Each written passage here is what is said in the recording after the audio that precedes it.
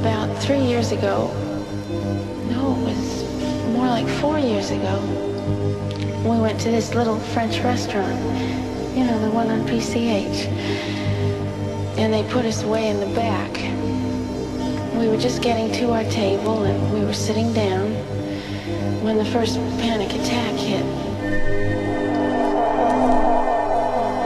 Brother, it was like nothing you'd ever want to go through.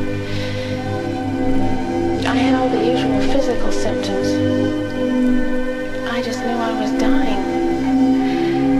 I got lightheaded and nauseous. My knees began to buckle. I was totally disoriented, dizzy. I knew I was gonna die right there in that restaurant because I didn't think I was breathing anymore. I put my hand in my chest to see if my lungs were still working. My pulse must have been about 180 or something. But the worst part of it was that I thought I was going absolutely crazy. And I couldn't do anything about it. But now you know what to do with those feelings. Let him pass. Just let him wash right through me. At least I know now I'm not gonna die from them.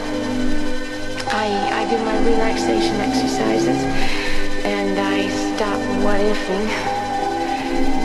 I let him pass right through.